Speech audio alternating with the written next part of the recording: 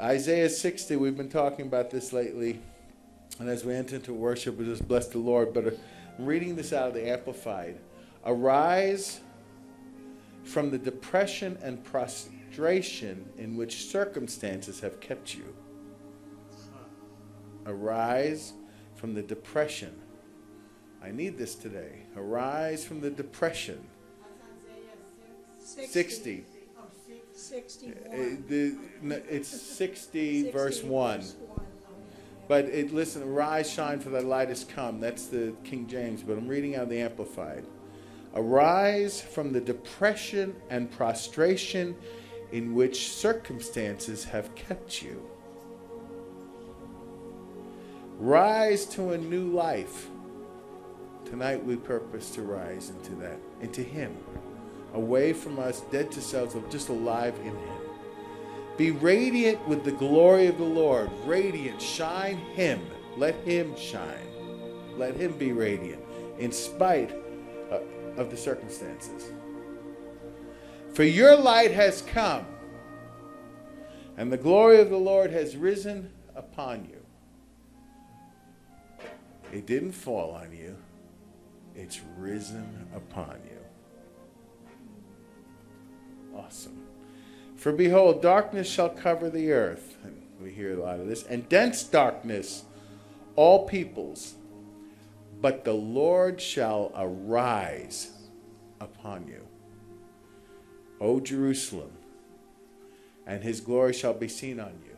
We say, oh, he's talking to Jerusalem, the city. No, he's not talking to Jerusalem, the city. He may have thought that. But see, you're in Christ. And Paul said, You have come to Mount Zion, the heavenly Jerusalem. He's talking about to us where we dwell in those heavenly places. So, can I read that again?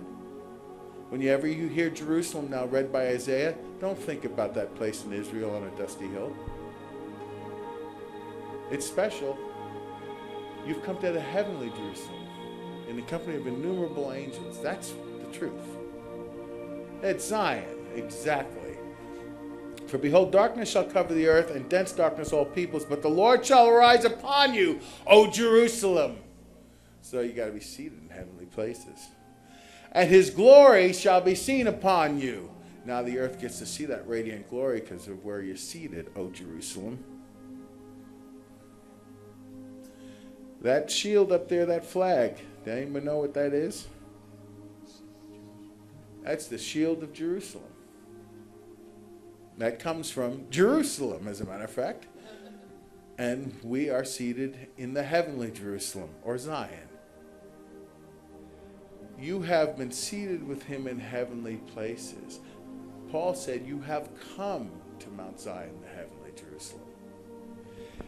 And as we say, that arise, shine, yet as it shines, one of the things that I know is, is descriptive is that when it talks about, I saw the city coming out of heaven right?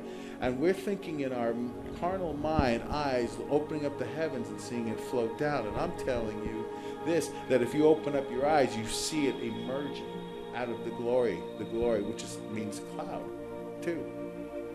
You follow.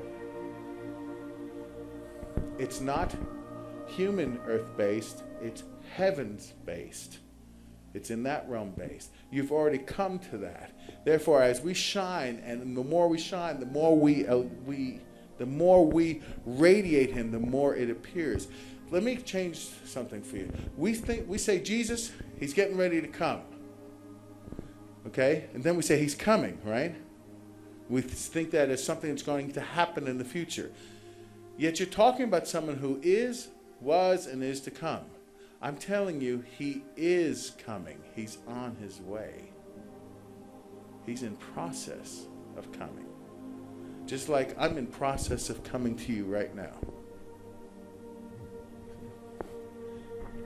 And man has put this date, time, and stamp on it, and I can't find that anywhere.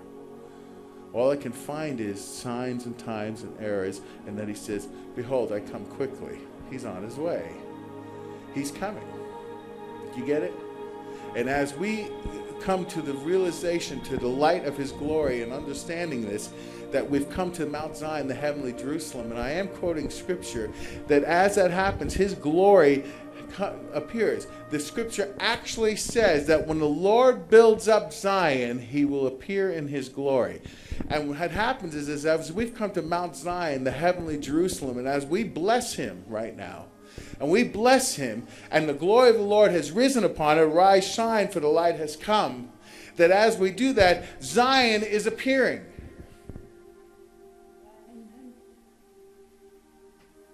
and we're seated in the we think we're seated in a stadium in the front row waiting for some event to happen. You are the event. It did happen. It's happening and it's going to happen and i asked the spirit of wisdom revelation didn't mean to get into all that but as you bless the lord he he inhabits the praises of his people israel Isn't that awesome? So, Lord, this is why we can say, Kenya, be prosperous. And in a few months, it's prosperous. That's why we can say, be healed, and it's healed. Signs and wonders follow those, right? We're having signs and wonders. So, I know it's not popular with what's being taught all the time. But I also know I've never seen power in waiting for some event to happen. But I've definitely seen change when we've accessed and blessed the Lord in His holy place. I have seen the tumors fall off. That's where I've seen things happen. So, uh, so anyway, for behold, darkness shall cover the earth, and dense darkness all peoples, but the Lord shall rise upon you, O Jerusalem, and his glory shall be seen on you. And nations, nations, nations shall come to your light, and kings to the brightness of your rising. And we just got a report from a bishop who has governmental has governmental favor. And we just got a report of a light shining in another nation and discipling going on. And that's because where we come to. Amen. Wow. Holy, holy. So let's just bless the Lord who dwells in Zion in his heavenly realm on his th- in his throne.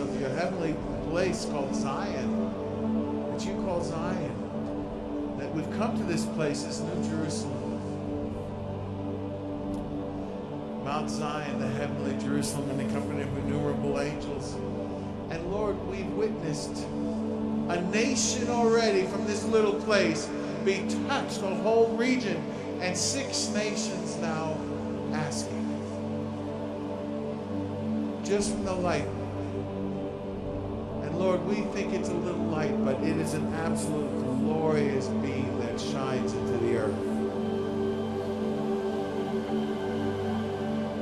Open our eyes to see the glory and magnificent. Lord, you hide the obvious from us sometimes until we seek and we say, oh my gosh, that word is true.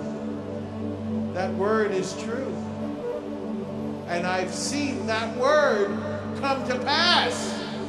And I'm going to see it come to pass again and again and again and again and again.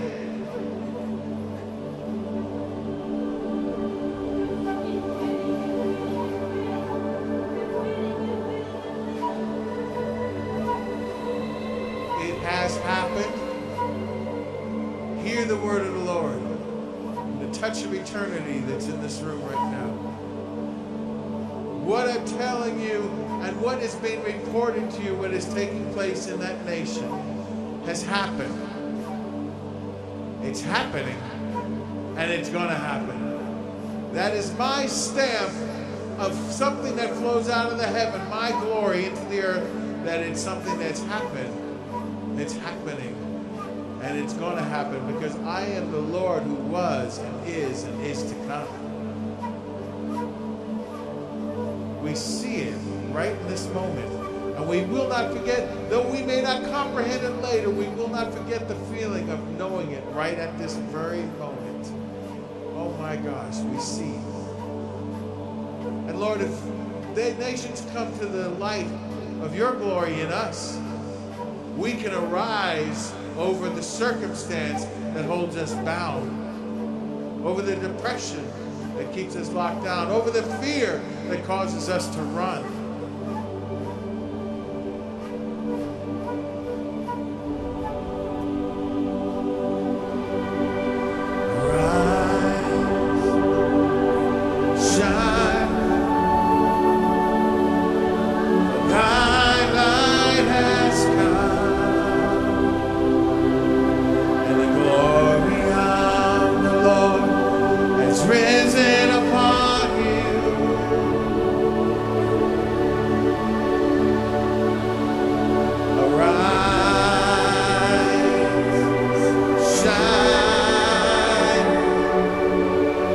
now.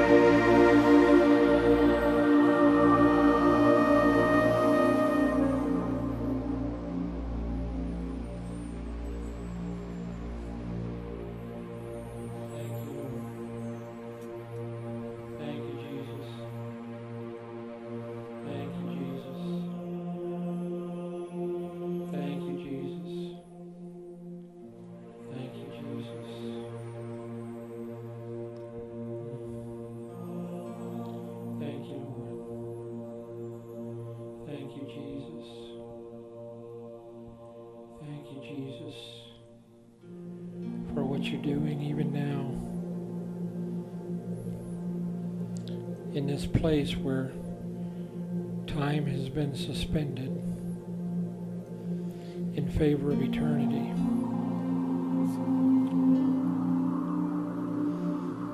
Thank you, Lord.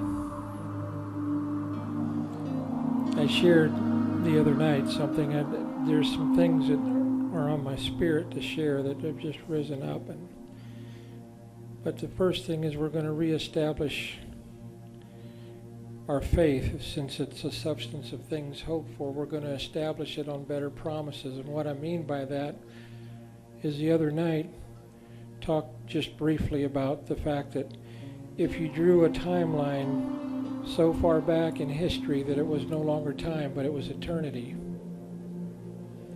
And if you drew a timeline into the future that it was so far into the future that it was no longer time, but it was eternity. And we have these promises of God, but we've got this this sliver of paper, the thickness of a of a notebook paper, and on that is written the accusations of the enemy against you. And yet that was taken and nailed to the cross.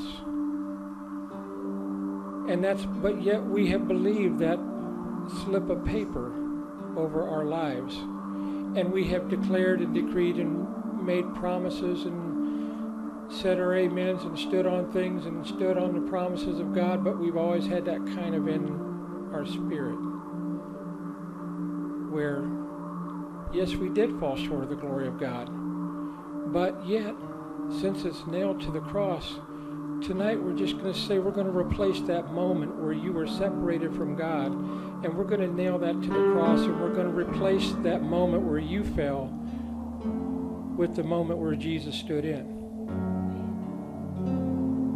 And once we do that, once we replace that, and once Jesus is standing in that place, then we're going to understand that he was crucified before the foundation of the world. So there was never a break. There was never a break in your life with God because he called you. He knew you while you were in your mother's womb. He saw everything that you would ever do, and yet he stood there in that place. And we talked the other night about Zion, and we talked about how this one was born there, and that one was born there, and that all of our springs, all of our fountains are in Him.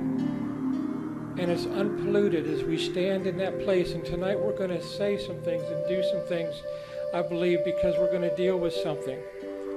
And yet, as I look at that, I want you to also understand that we came to a, moment, I believe, where the Lord is saying that, that the time of Zion has come. The time of coming into this place of the fullness of the Father and the fullness of the Son and the fullness of the Spirit in us has come. So I think about the names Josiah and I think about the names David. You all know what Josiah did, right? He tore down all the high places. When he was eight years old, he heard the word of the Lord and, and he ripped his garment. He was so upset. A little boy, a little boy said, We ain't going to have this. We're not going to have these idols in Israel. And so the Lord is speaking from this eternal place tonight where we have this authority, where, where everything that all the handwritten ordinances against us have been nailed to the cross, and the cross happened before time began. We're speaking in that authority tonight in the name of Jesus because there's nothing that stands to accuse us as the righteous sons and daughters of God, and we say Josiah is going to tear down the Nicolaitan system. And Lord, we speak tonight and we say, Lord, remove the desire for the Lord's vineyard from the Ahabs that are in the body of Christ. That is not your vineyard, that belongs to the Lord. It is the Lord's vineyard. Just as Ahab went after Naboth's vineyard, the Ahab spirit has gone after the Lord's vineyard, and the Lord says, No more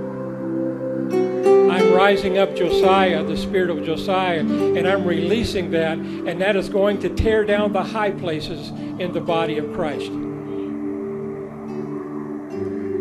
But it can't happen without David. It can't happen without David, without that spirit of David, that tabernacle of David that's raised up and says, We're going to make, we're, we're going to establish Zion. We're going to establish these streets to dwell in. We're going to, we're going to raise up the old ruins and we're going to establish streets to dwell in. And the children of God are going to be able to be free. So tonight we declare in the name of Jesus the freedom of the captive. No more. No more. If you have an Ahab spirit in the body of Christ, the Lord says, no more. It is time, it is time for, for the, even the writing of Jehu to come in and say, throw that woman down.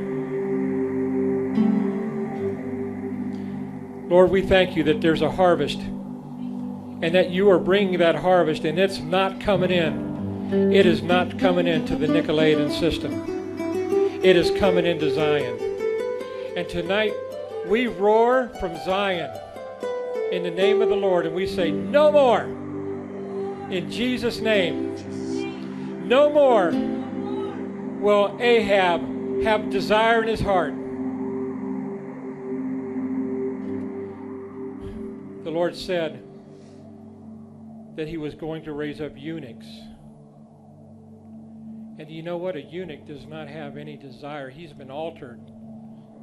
He does not have a desire for the for anybody, anybody in the bridal chamber. He's there to prepare the bride. And that's his job. That's his job. He prepares the bride to meet the king. That's it. No more taking the adoration of the bride when it's only belongs to Jesus. Lord, we just thank you. We release that tonight. We release that into eternity past and into eternity future, and we establish Zion in this moment. And we say, No more in Jesus' name. No more in Jesus' name. No more in Jesus' name. Let the captive go free. Raise up, raise up the apostles, the prophets, the evangelists, the pastors, the teachers, and release them, Lord. Not in a system, not in a place that says you're under this, we're all under you, Lord. And yet you have called us friend, and you have raised us up to sit in heavenly places with you. And that is our seat, and that is our place of authority. And we stand with you and in you as you are in us. And we say, Thank you, Father. Thank you, Father, that we are seeing the end of the age coming into our time. When you again will stand in the earth and you will make the proclamation and you will raise up along with us, Lord. I don't know how many cities I'm getting, but I don't mind five, I don't mind ten. I'll take one if that's all you feel I'm uh, or, or have done, Lord. But there's a there's a widow somewhere who's got five. I know. And Lord, we thank you. We thank you, Lord. We just we just even now we take authority over the heritage that you have given us in the earth. Because you said the meek will inherit the earth. And so, Lord, we stand here in this place and we cut off. We cut off the work of Ahab. We cut off the work of Jezebel away from your body and we say, You cannot have the Lord's vineyards. And Lord, we just even now call down legions of angels to take up place across the globe to stand watch over your vineyard everywhere it is, anywhere where someone has believed on the name of the Lord Jesus Christ. That is your vineyard. That is your heritage, Lord.